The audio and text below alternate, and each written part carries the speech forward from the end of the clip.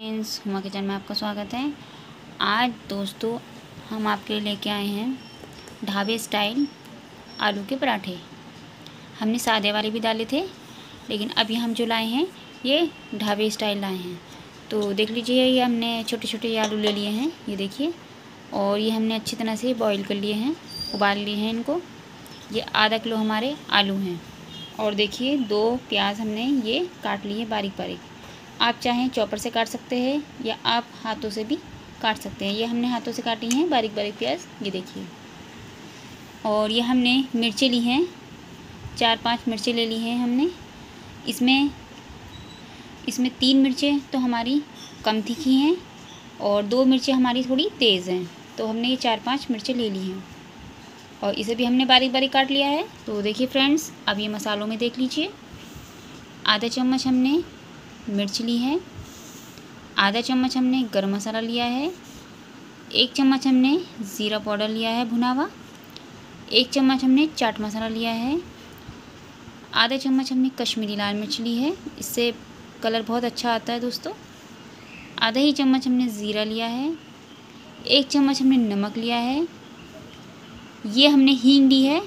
हींग से टेस्ट बहुत अच्छा आता है पराठों का। और ये बादीपना भी मारता है। तो हमने ये हींग ले ली है और एक चम्मच हमने लिया है धनिया पाउडर। तो दोस्तों ये हम सब मसाले आलू में डालेंगे। पहले हम आलू को मैश कर लेंगे फिर हम आपको दिखा मैश कर लिया है आलू को और अब इसमें हम ये प्याज और ये हरी मिर्च डालेंगे और देखिए सारे मसाले डाल देंगे हम। और देखिए अब इसे हम मैश कर लेंगे हाथ से। ये हमारा अच्छी तरह से मिक्स कर लिया है हमने। और आप नमक और मिर्च आप टेस्ट के अकॉर्डिंग डालना।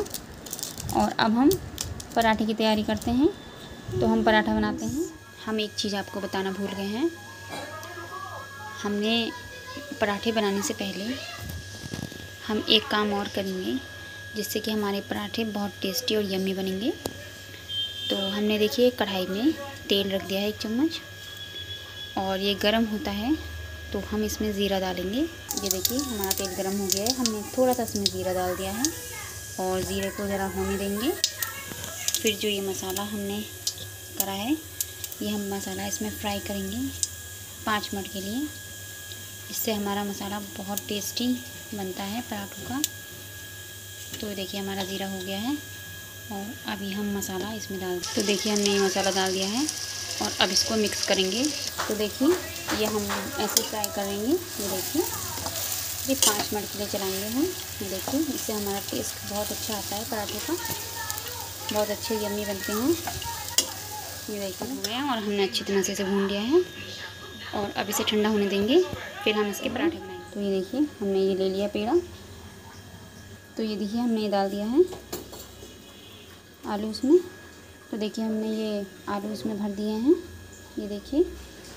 और हमने दो रोटियाँ बना रही थी, ये देखिए। और अब इसे हम चारों तरफ़ से दबा देंगे और अब इसे बेलेंगे। तो ये देखिए हमने ये पराठा बेल के डाल दिया है और अब इसे हम पलटेंगे, ये देखिए। और अब इसमें हम देसी घी लगाएँगे, चाहे आप तेल भी लगा सकते हैं या देसी घी भी लगा सकते हैं। तो हम देसी घी में बनाएँगे। तो ये देखिए हमने देसी घी लगा दिया है इसमें। अच्छी तरह से लगाएँगे ये हमारा आलू का पराठा बनके तैयार हो गया है ये देखिए। और कितना अच्छा बना है ये देखिए। अंदर तक मसाला ये देखिए परत वाला है देखिए। अंदर तक मसाला है देखिए इसमें। ये देखिए पूरा ऐसी पराठा खुल जाएगा। देखिए कितना अच्छा और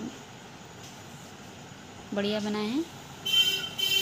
और आप चाहें तो चटनी के साथ या दही के साथ या सॉस के साथ किसी के साथ भी आप सर्व कर सकते हैं खा सकते हैं आप। तो हमने तीनों के ही साथ सर्व करा है। तो ये देखिए, दिखने में कितना अच्छा लग रहा है। खाने में उतना ही यम्मी है। तो देखिए फ्रेंड्स अब ये बनाइए आप। आपको अच्छा लगे तो लाइक कीजिए शेयर कीजिए सब्सक्राइब करना ना भूलिए। और एक नई रेसिपी के साथ फिर हम हाजिर होते हैं। थैंक यू दोस्तों।